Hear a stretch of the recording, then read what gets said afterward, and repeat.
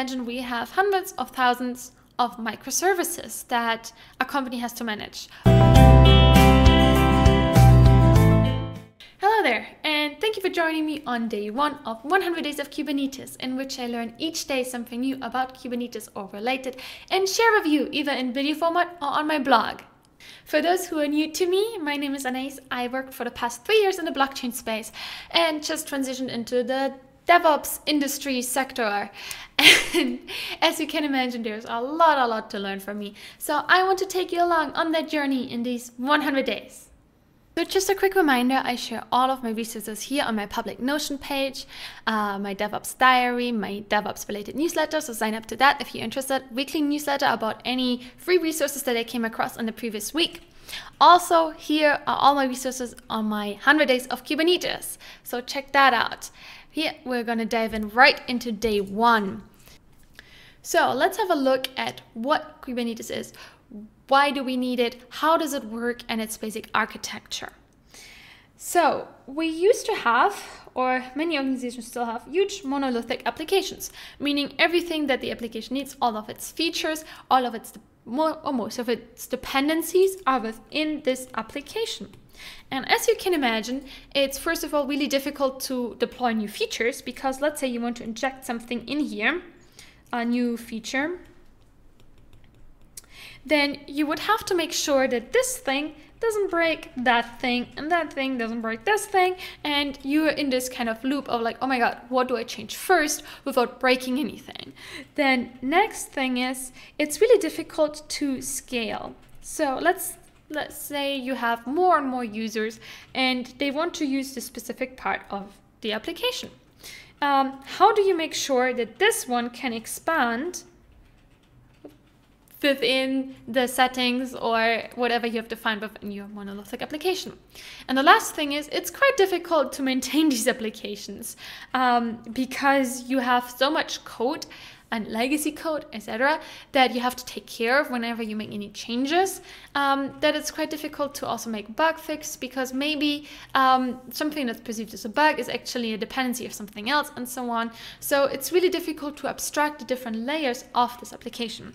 So what we do instead is now we put different features, for instance, into little containers.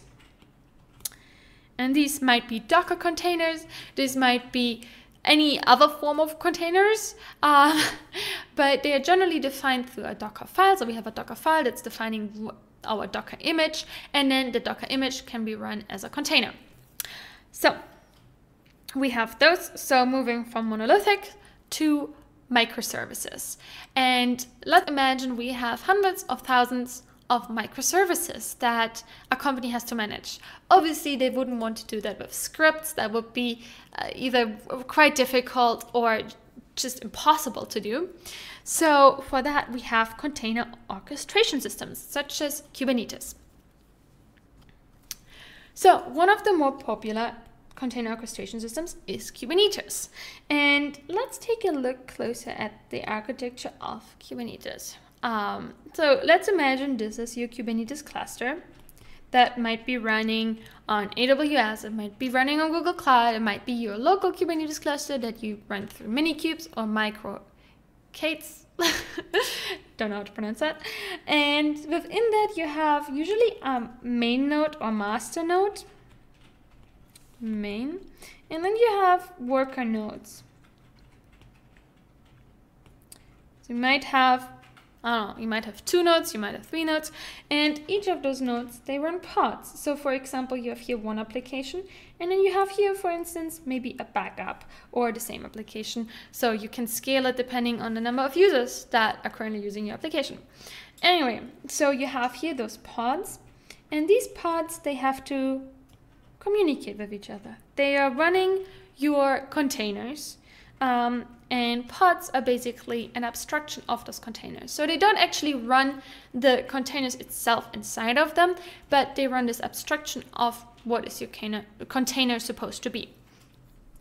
And in order to be able to communicate with each other, they need IP addresses. And every time you spin up a pod, it will get assigned a, a new IP address. Um, the problem is now if this pod goes dead, then we have to find a way to basically spin it up and tell all the other nodes, hey, that is a new IP address. It's the same node or like it's the same pod that has its the same functionality. It just has a different um, name to call now, let's say. So in order to make that more effective, we have services that kind of wrap up around our pods. And the service is basically has two functionalities. So the first function is that it has to provide an IP address to our pod, and the second one is to provide a load balancer. Now, more on load balancers later on.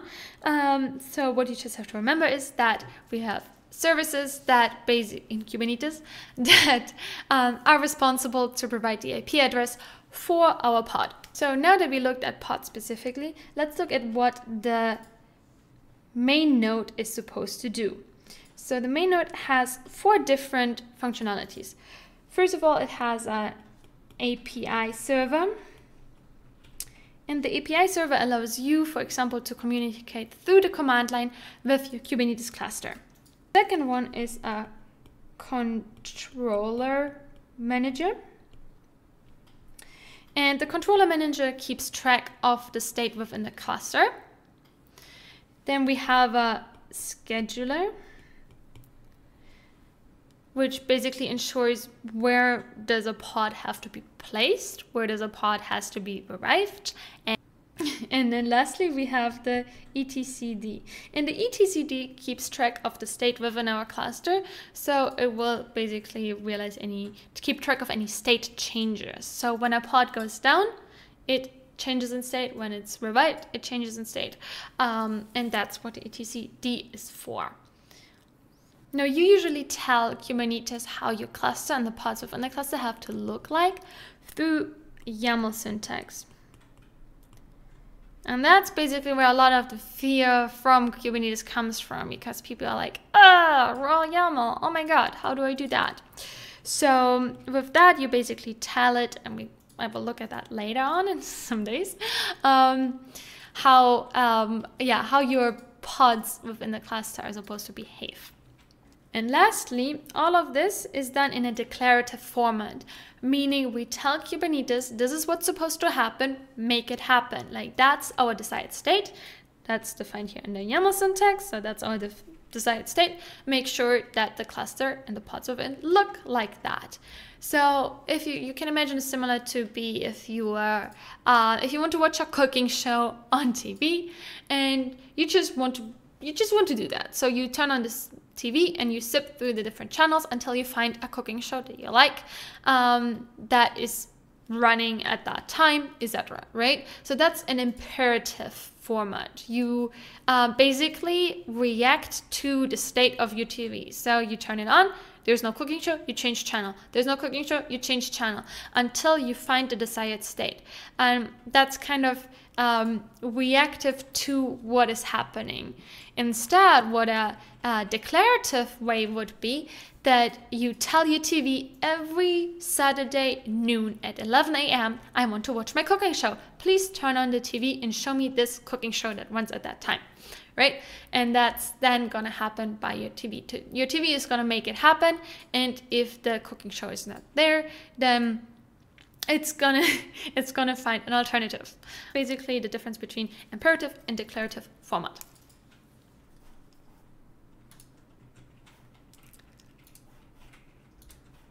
Now this is it for today. I hope it was useful. If it was, if you liked this video, please do give it a thumbs up. Also, if you would like to join along this journey and maybe discover future topics that I will be covering, then please do subscribe to this channel.